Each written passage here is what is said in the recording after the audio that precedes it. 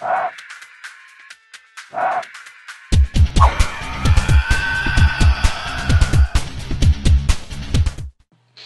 this episode of Thyla Bites, we'll be looking at the thylacine stripes. The 13 to 19 dark brown coloured bands extending from the posterior thoracic region to the butt of the tail are the most characteristic features of the thylacine. They provide contrast to the brown, light brown or sandy colour of the body.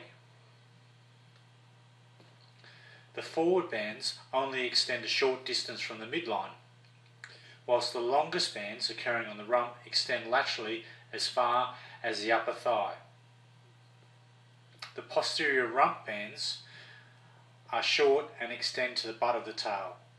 The number of stripes varies from individual to individual.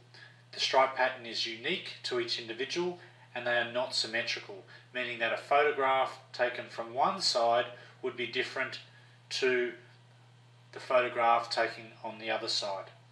The tail has no stripes. That's it for this episode of Thyla Bites. We'll see you soon.